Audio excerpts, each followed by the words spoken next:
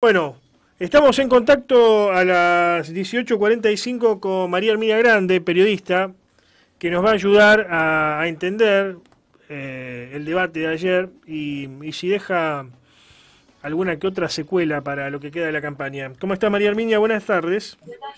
Hola, ¿qué tal? Buenas tardes perdón el, bullicio, pero ya en cinco minutitos voy a estar mm, con menos ruido. No hay problema, eh, no hay problema. Eh, gracias por atendernos. Con respecto. Sí. No, por favor, siempre es un placer, Antonio. Eh, con respecto a lo de ayer, bueno, no creo no, no, descubrir nada nuevo. Este, en el sentido de, bueno, hubo una Patricia Bullrich que en realidad repuso un poco la mala performance que había realizado en el debate del domingo anterior, eh, tratando de meterse en este terceto ¿no? que se ha formado. Eh, ley conservador, tratando de no mover el amperímetro más de lo debido por miedo a, que ese estatus en donde lo colocó el, voto paso, eh, no perderlo. Y en el caso de Massa, bueno, creo que fue de alguna manera en esta oportunidad eh, un poquito el más, mm, el más agredido o asediado, cosa que no había pasado en el primer debate. Eh, no obstante, tengo la, impresión que eh, se, defendió de acuerdo a, lo esperado, ¿no? Eh, yo creo que todos fueron a mi ley en, conservando, pero tanto Burri como Massa, eh, a intentar ver si ese medio puntito que dicen que a lo sumo un debate puede dejarte como producido, bueno, fueron tras él. Eh, los debates a lo largo de la historia está demostrado que no generan eh, realmente no cambian el ánimo electoral. Ahora, este, cuando el caso de Argentino es, es distinto porque eh, en esta ocasión, porque hubo prácticamente, Antonio, un empate técnico. Eh, tener un punto de diferencia entre los tres primeros y así quedó la foto paso. Bueno, eh, es cualquier error muestra, muestral de, eh, una, de una encuesta, ¿no? Eh, por lo tanto, si en, en, este caso ese medio puntito podría, podría tener incidencias. En lo particular, yo creo que no hay demasiada incidencia, tal vez, tal vez en algún indeciso, tal vez en el voto, en un voto en blanco que puede ser repensado, pero no, no creo mucho más. Sí permite conocer un poquito más a estos, a estos candidatos. Eh, más allá de, esto acá, creo que, del, que mi ley, eh, lo que trató de ser conservador en el día de ayer, me parece que en el día de hoy, con las declaraciones que hizo, bueno, tal vez a su gente la enardece y algún votante que tenga un poco de sentido común, tal vez lo aleje. Claro. Porque, bueno, sí, sí, sí, fue fue con esto de las declaraciones del peso, eh, asociar nuestro peso con el excremento. Eh, podemos, podemos decir que ¿no? podemos decir que los candidatos estuvieron em, en su papel, digamos, o, fueron lo, lo, que eran o lo que la gente pensaba que eran ayer, porque en el debate anterior estaban como más medidos, como esos boxeadores que la primera parte de la pelea se están tanteando a ver cómo está el, rival, qué punto débil puede llegar a tener, muy medidos. Ahora es como que cada uno estaba incluso gesticulando y, y, sacándose en el sentido de, ¿no? de, salir de, del control cuando tenían que salir del creo control. Que, mm, creo que la más, la más eh, pugilística en todo sentido fue Bullrich, ¿no? Inclusive hasta, bueno, de alguna manera un, poquito agresiva para mi gusto. Eh, pero en el caso de ley me parece que se sacó hoy todo lo que guardó ayer, viste, para lo que él viene siendo y lo que tiene acostumbrado lamentablemente a cierto electorado, me parece que ayer guardó, las, guardó ciertas formas. En el caso de Massa, bueno, sí, mostró también un poco de, de, alguna contestación filosa y rápida, fundamentalmente con Bullrich, ¿no? Eh, pero no hubo mucho más que eso, no hubo mucho más que eso. Y para colmo, bueno, también Massa tiene un hoy, así como hablamos de que mi ley fue, fue este lunes, lo que para mí hizo la diferencia digamos, o, positiva para los que quieren que se incendie todo y que creen que ese es el camino, o negativa para aquellos que buscan a alguien que tenga cierta sensatez, ¿no? Eh, y más para presidir Argentina. Ahora, Massa también tuvo, si, si así lo podemos descifrar o, señalar, un lunes complicado, porque el dólar cerrando como cerró es espantoso, ¿no? Sí, sí, mil, eh, pesos, eh, mil pesos para, mil pesos para la venta, claro.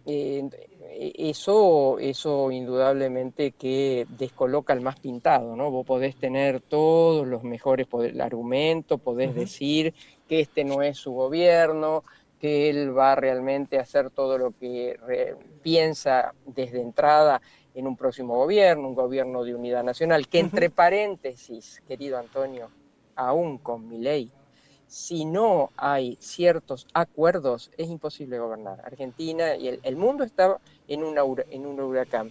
Yo, sin ser analista internacional, simplemente soy una inquieta lectora de todo eso, me atrevo a decirte que estamos en, el, en un momento justo de un cambio histórico a nivel mundial. No eh, sé para dónde sale, pero sé que estamos en, en, ese momento, lo presiento, lo observo, lo, lo, lo, lo vivo, lo vivencio.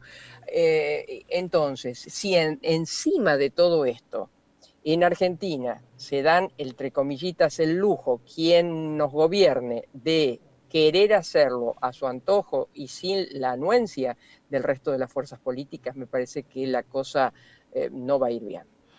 Eh, vos debes ser una de las personas que conozco que, más entendés el peronismo y la, y la, filosofía peronista, si uno quiere, y lo que es la, famosa tercera posición. ¿no? Eh, ahora, cuando uno ve, y en este sentido te lo digo, cuando uno ve a Milley que le pega desde The Economist, que es un diario ultraliberal, hasta Lula eh, sentado al lado de Biden, que es el grupo de Puebla, digamos, si uno quiere, la, socialdemocracia internacional. Eh, lo, transforman en peronistas, digamos, ¿no? Porque le, dan de, todos los sectores. Eh, es increíble una cosa. Y Jaureche que decía, Jaureche decía que cuando, cuando te pegan de izquierda y derecha era que estaba en el lugar correcto, decía Jaureche.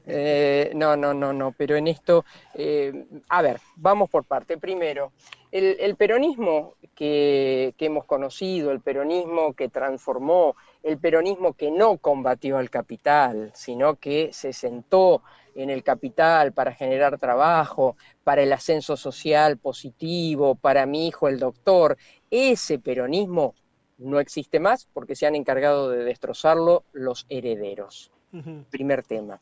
Segundo tema, eh, sería, eh, yo sé con la forma y, sé de tu honestidad y demás en que lo mencionás, pero emparentar a mi ley con el peronismo, la verdad, este, me, daría un poquito de dolor pensando en, en, lo que fue el peronismo para, para nuestro país. Claro este, para tanta gente. Yo la verdad que eh, no suelo, suelo ser muy cuidada con la idea política del, otro, suelo este, ser muy respetuosa de ello. Ahora, lo de mi ley es algo que me, que es pre, a ver, ¿cómo podríamos decir? Preideológico.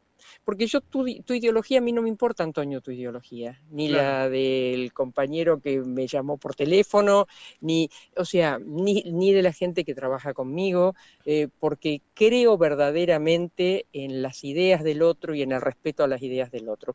Pero cuando algo va contra las bases de eh, la, esencia misma de la democracia, cuando va en contra de lo que tiene que ver con eh, tu libertad, porque, eh, a ver, la libertad que pregona mi ley es la libertad que él quiere y él puede y, y ahí punto, y ahí nos quedamos este, porque no, no habrá libertad de estudiar como lo tenemos hasta este momento. No hay libertad de salud. Ah, mira, voy a contar una intimidad. El, sálvese quien pueda. El sálvese quien pueda Sí, yo, yo, yo de chica eh, tuve el placer, el gusto enorme de ir a una escuela de campo, una escuela rural. Mm. Éramos muy poquitos los eh, alumnos de esa escuela rural, pero, pero había una idea de que era esencial no, no, era la cuestión de cuánto costaba tener esa escuela, sino lo que producía esa escuela en el beneficio, que no tiene precio, en el beneficio de un chico educándose cuyos padres trabajan en el campo. Mm. Eso eso con mi ley, eh, salvo que nos llevemos una tremenda sorpresa en caso de ser presidente y que eso haya sido para la gilada y que cambie su idea. Claro, como decía Menem, pero si, eh, si yo decía todo lo que iba a hacer no me bueno, eh, pero si él mantiene eso... Ahora, eh, permitime hacer esta comparación con los 90, digamos. Está, está Luis Barrio Nuevo, que está viejo, pero tiene que ver con los 90. Eh, hay un poco de pizza y champán en esta cosa de Fátima Flores, de, toda la gente que se le ha acercado a ley Bueno, está Adrián Menem también, pero ¿se puede pensar en un menemismo sin Menem? Porque, a ver, mi, ley no, le pega al peronismo si uno lo analiza en detalle, le pega al quinerismo y al socialismo. Es más, dice que el problema de la Argentina viene de la época de Irigoyen. Eh, ¿Se puede, pensar, Un, ¿se puede eh, pensar un menemismo sin Menem? Bueno, es como, es como pensar en un peronismo sin Perón, no, no. la doctrina que dejó Perón, que no dejó Menem, eh, bueno, no se culpió, después los herederos cada uno hicieron lo que quisieron.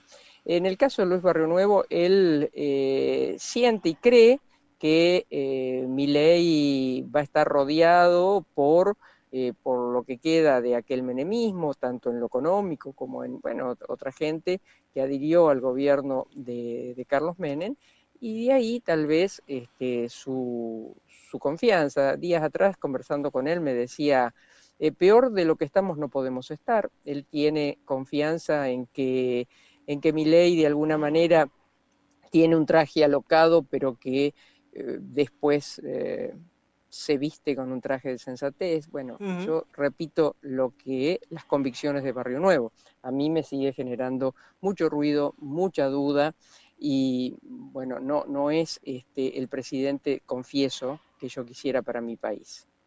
Pero habrá que esperar la, ansiedad en, este momento hay que eh, saberla manejar porque hasta el domingo 22 a la noche eso no lo vamos a saber. Yo no tengo, veo encuestas como vos, Antonio, a cada rato, a cada momento y no, no confío absolutamente en ninguna. Muchas gracias como siempre por el contacto, María Mía. No, por favor, un placer. ¿eh? Muchas gracias a vos, Antonio. Un gran saludo.